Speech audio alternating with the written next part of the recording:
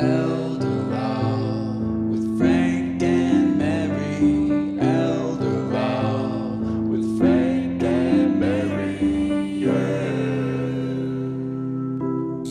Frank, Frank, hurry.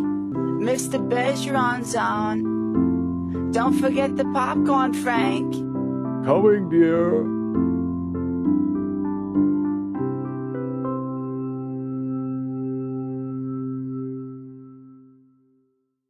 Uh, well, interestingly, two years ago, the statute dealing with this was changed. The way it works now, right, is that it is presumed that it is okay for your remains to be donated unless you have signed something in writing saying that you don't want them donated. That's the first thing.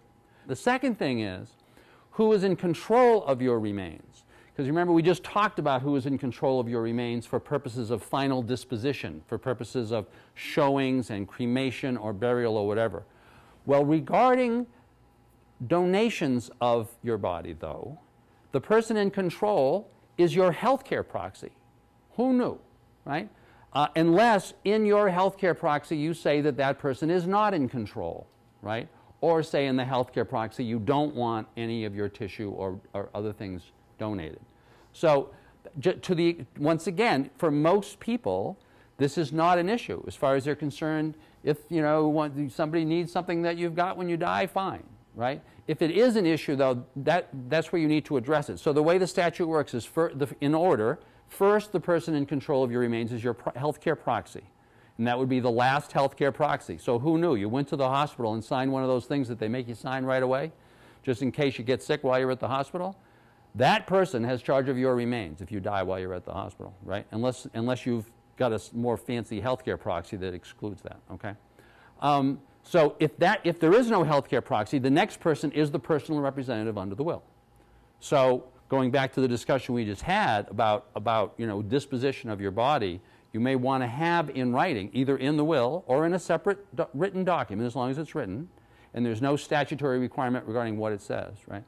Um, you may want to be dealing with this disposition issue, right? And if you don't have a personal representative because there's no will, then it's the spouse and then the next of kin.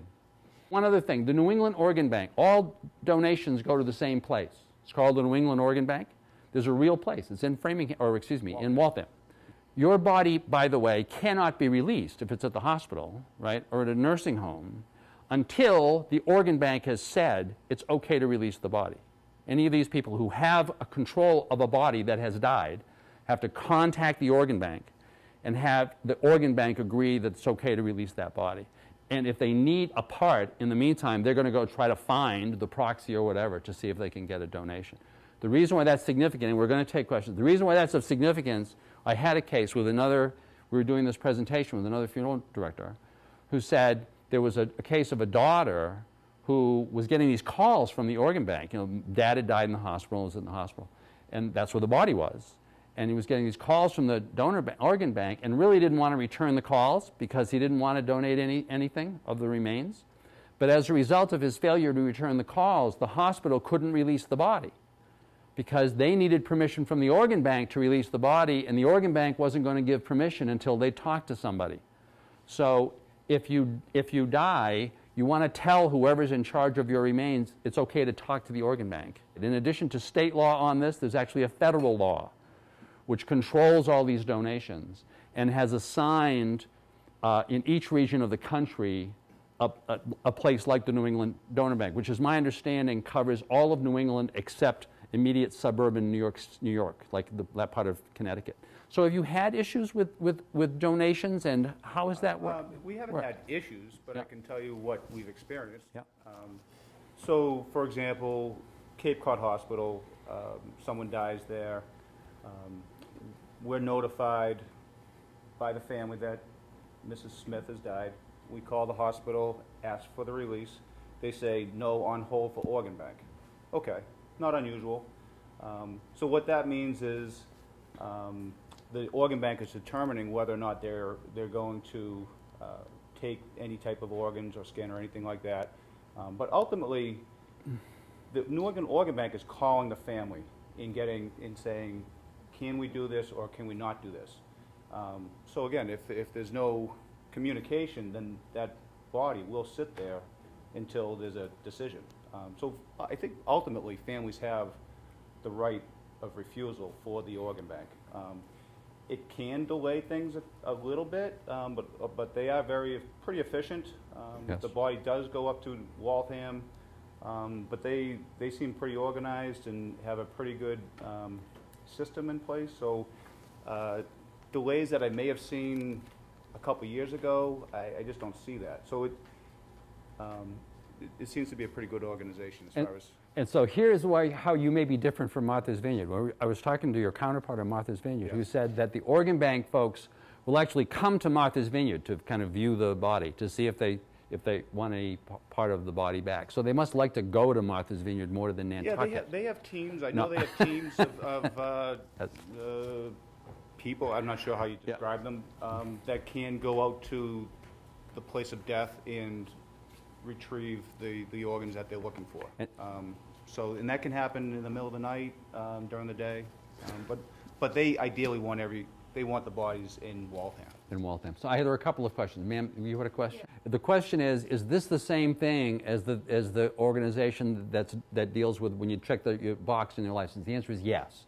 Yes. And if you've made that determination, then that this issue of whether or not the remains are going to go has been clarified. Because if you've actually said that you want the remains, your remains to be, it's okay to have the remains donated, then whether it's your proxy or your personal representative or whatever, once the organ bank has, has you know, they're going to contact them, but there's no question that the body will go, right? The only question is, The simpler way is just not to check that off. well, but if you don't check off the box, as I had mentioned, unless you've done something in writing that specifically says that you don't want your remains to be donated, they will hold the body and look for a healthcare proxy, and if not, look for a, a personal representative. Now, any of those people who have charge of your remains can say no, right? Can simply say no, whether you've given them any instructions or not. I'm just saying to you that at this point, of course, you're dead. So if, if you really want to give them, if you want to let them know that you don't want the body to be donated, then you may want to tell your personal representative or your, your uh, healthcare proxy. Okay? You just need some writing that demonstrates that you don't want the body to be donated. But I thought there was one other question. Yes, ma'am, yes, ma'am. The question is, can you send a letter be, before you die to the organ bank saying that I don't, I don't want to participate in this? The answer is, I'm sorry, no one asked me that until now, and so I don't know.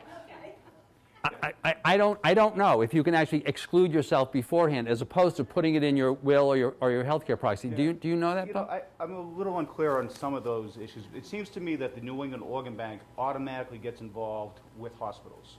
Um, if you die at home, um, if you die in a nursing home, I, I don't feel as if I see the New England Organ Bank, uh, th- that subject coming up um, in those cases.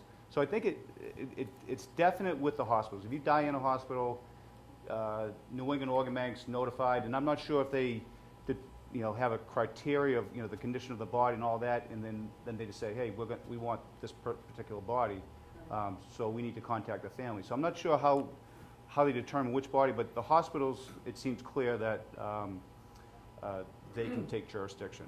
Um, And same with medical examiners. Uh, The Yep. body ends up at the medical examiner, um, same thing. That's correct. The statute requires them. That's right. The statute actually pro- statute prohibits institutions from releasing bodies without the permission of the organ bank.